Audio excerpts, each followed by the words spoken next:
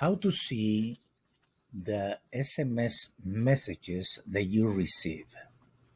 We are here in the contact list and we have this button send and receive message. This is quite special because not only you can I can click on it right now and see all the messages sent and received. Well, actually the last 200 which should, suffice majority of cases. And uh, when you see one in green, that is a one that you receive, and below you have the the line of communication. In other words, you're gonna see based on the date and time. So it might may be possible that the same client have sent you the the same uh, I mean different messages after you send just one or several. But the whole point is here you have the history of communication with your client. Okay, so you see here and the, the response, and you see here and the response.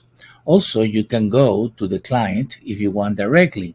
So if I click here, I'll go to the client directly in case that you want to do something, uh, get some information, etc.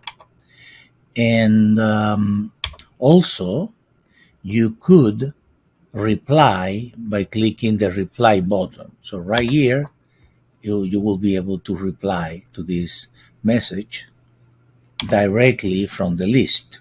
So you have all the combinations and you have the number that they're calling from to the number that is being sent to, from and to. Okay? The date that it was received, time, etc. And here, obviously, the ones that say uh, sent, those were you sending, the ones that says reply in greens are the ones received. Uh, for this, you need to have an account with Twilio to send uh, and or receive. Remember, there is another video about that, but remember that you can send also from here, you can send to many, you can send a message to many customers, the one that many, many contacts actually, the ones that will be selected, and from inside the contact or one contact, you can send specifically to that one.